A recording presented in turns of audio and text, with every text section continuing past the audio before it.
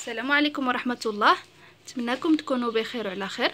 مرحبا بكم معايا في قناة شي سارة ومرحبا بكم معايا في وصفة جديدة وفيديو جديد.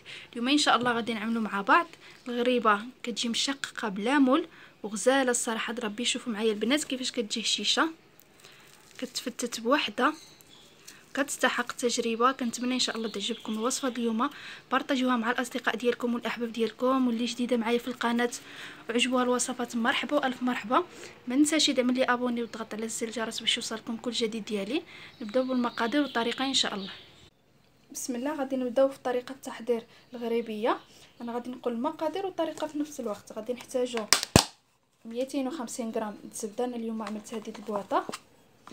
المارغرين هذه ماشي زبده وفي الناس اللي في المغرب بغاو يعملوها برقيه كتجي غزالة حتى هي. هنايا ما جبرتش رقيه غادي نستعمل هذه البواطة. المهم هذه فيها 500 غرام أنا عملت 250 غرام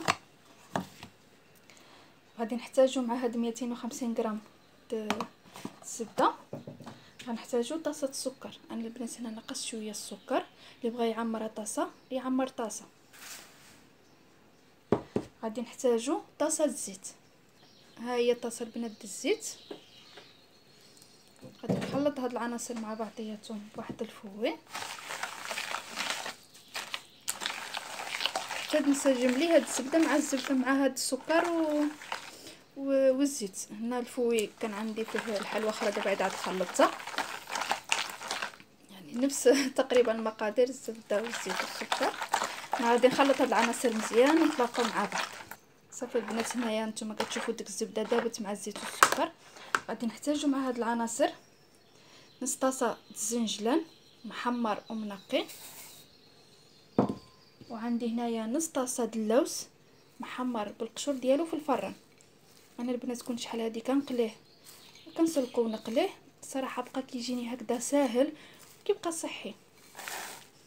تقدروا تعملوا نتوما واخا غير نص كاس د الزنجلان ونص كاس د اللوز ماشي ضروري تعملوا نص طاسه نص طاسه بحق ملي كتعملوها بهذه الطريقة كتجي الغريبية الصراحة كتحمق وكتشق واخا بلا ما تعملوها في المول الخاص بالغريبية أو الغريبه اللي كيقولوا الناس الداخلية يعني كتشق 100% هاد الوصفة اللي غادي نعطي لكم اليوم.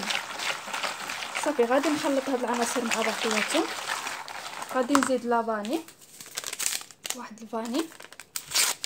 سبعة ولا ثمانية غرام هذا فيه ثمانية غرام. حتى هو كيزيد ينسم صافي وغادي نزيدو الطحين والخميره هادشي اللي كنحتاجو في هاد الغريبة اليوم.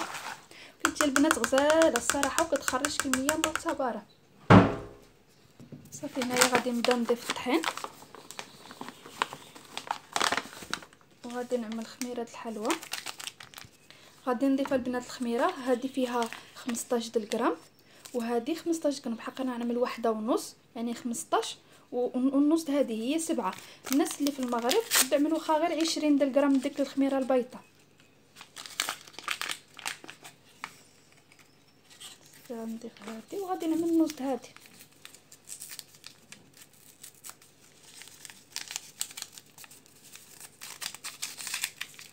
صافي غير النص. يعني واحدة ونص. هذه مولات 15 غرام. صافي وغادي نبدا نخلط. وأنا كنضيف الطحين. آه هاد الغريبة خصها تكون خفيفة باش كتشق ما خصهاش تكون قاصحة. صافي هنا كيف ما كتشوفوا معايا غادي نحيد هاد الفوي غادي نبدا نزيد الطحين بيدي باش نعرف آه القياس شحال خصني نزيد الطحين. غادي نبدا نزيد الطحين وأنا كنجمع. صافي كنجمع. بهذا الشكل هذا كيف ما كتشوفوا معايا. صافي هنايا البنات كيف ما كتشوفوا خلطتها. صافي هنايا البنات كيف ما كتشوفوا معايا. كنقول لكم خصها تبقى خفيفة باش تشقلكم. ما تضيفوش الطحين بزاف باش ما يشرب لكمش الطحين. صافي دابا غنكوروها ونملوها في الصينيه صافي هنايا البنات الحجم الغريبة كيف ما كتبغيوها واش كبير ولا صغير هي باقا كتكبر وتشق. أنا غادي نعملهم غير متوسطين. صافي كتجمعوا العجين ديالكم بحال هكذا وكتكوروا صافي وكتنزلوا بشكل عادي بحال اللي كتعملوا الغريبة. قلت لكم الحجم كيبقى على حسب نتوما واش خصكم كبيرة ولا صغيرة. كنأكد عليكم هي باقا كتكبر وكتشق. فلهذا مدملوها شي كبيبره بزاف وبعدوها على بعضياتها باش تجبر فين تشق.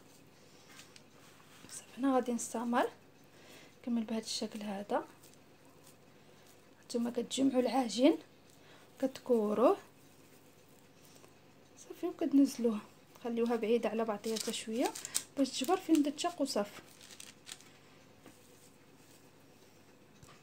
صافي الغريبية ديالي واجدة غادي ندخلها الفران بالنسبة للفران 180 درجة عملوها ماشي في الوسط عالية تكون فوقي شوية غير تبدا تشق وردوها لنا الوسط. صافي نتوما كتشوفوا معايا الشكل ديالها. هنايا خرجت لي آه 35 حبة وباقي هنايا عندي في البانيو. باقي يعني كتخرج كمية كبيرة. صافي أنا غادي ندخل الفران ونتلاقاو مع الشكل النهائي. وهذا هو الشكل النهائي البنات الغريبة اللي عملناها اليوم أولا الغريبية كيف ما كنقولوا لها في مدينة تطوان مشققه الصراحه كتجي غزالة كتستحق التجربة. كيف ما قلت لكم بلا مول بلا حتى شي حاجة يعني كتشق غير جربوها. كنتمنى إن شاء الله تعجبكم الوصفة اليوم. بارطاجوها مع الأصدقاء ديالكم والأحباب ديالكم. نتوما البنات شوفوا معايا كتجي هشيشه كتفتت بوحديتها. شوفوا.